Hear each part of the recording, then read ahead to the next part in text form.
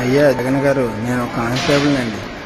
మీరు ఒక టీఏలు ఒక డిఏలు లేకుండా వచ్చి జీతాల మీద మమ్మల్ని బతికిచ్చేద్దామని చూస్తున్నారు కదండి. ఈరోజు మా ఆవిడ ఆ అదే జీతం లేక అదే ఇది లేక ఈరోజు నన్ను చెప్తున్నాను కదా వాళ్ళ అమ్మ చేత వాళ్ళ నాన్న చేత నన్ను కొట్టిపించింది నేను కృష్ణలంక పోలీస్ స్టేషన్లో ఉన్నాను. వాళ్ళ నాన్న కరిగేశాడు.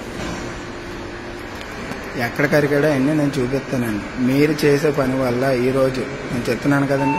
నేను మళ్ళీ కానీ యూనిఫామ్ వేసుకోవాలి అంటే అయితే పవన్ కళ్యాణ్ రావాలి లేదా జగన్ రావాలి. ఈ దారుణమైన పరిస్థితి ఎందుకు వచ్చిందంటే నువ్వు చేసే నువ్వు చేసే ఏది పసుపం పనుల వల్ల జగన్ అన్న ఆడెవడో నువ్వు చెప్తున్నా నేను అన్నా అన్నానంటే ఈ రోజుకి నీకు గౌరవం ఇచ్చి చెప్తున్నాను కదా.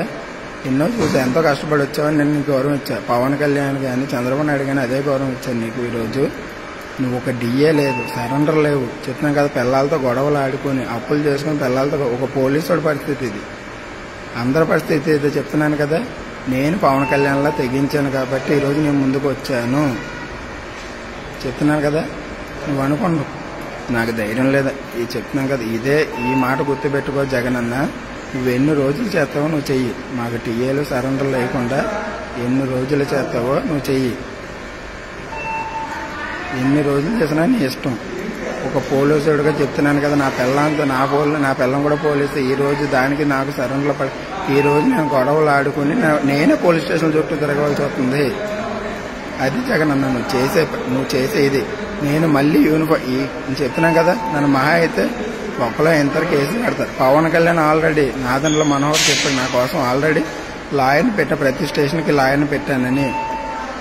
ఈ పాపం అంతా నీదే. ఒక పోలీసు వాడికి నువ్వు సరెండర్ అయిపోవడం టీఏలు అయిపోవడం డిఏలు అయిపోవడం సంఖ గవర్నమెంట్ ఎంప్లాయీస్ సంఖ నాకిపోయారు అంటే అది నీ వల్లే. చెప్తున్నాను కదా ఇదే ఫైనల్. నేను చెప్తున్నాను కదా ఇది ఫైనల్. ఒక పోలీసు వాడు సంఖ నాకిపోయాడంటే నీ వల్లే.